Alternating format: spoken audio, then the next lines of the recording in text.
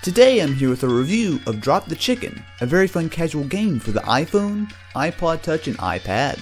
The premise behind the game is that you need to drop a chicken down into a nest while collecting as many bugs as possible in a short time.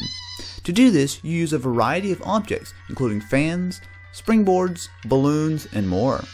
The gameplay is fun and typically brief, with each level usually taking under a minute, making this perfect and true casual game style for short play sessions when you have a spare moment.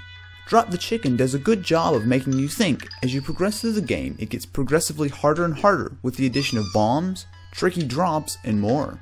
It's fairly open-ended as well, as you have full freedom over many objects to determine how the chicken will drop and bounce its way to victory. The level of polish is impressive, easily on par with popular apps such as Cut the Rope and Angry Birds. Menus are quick, allowing you to jump from level to level quickly.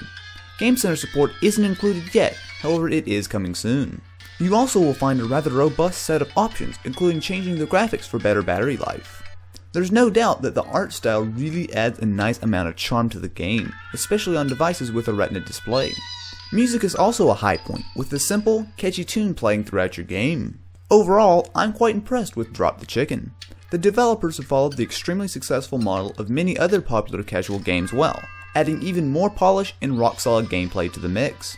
The game is just hitting the App Store worldwide as you watch this review for 99 cents, and a pre-release copy was provided to me for free by the developer.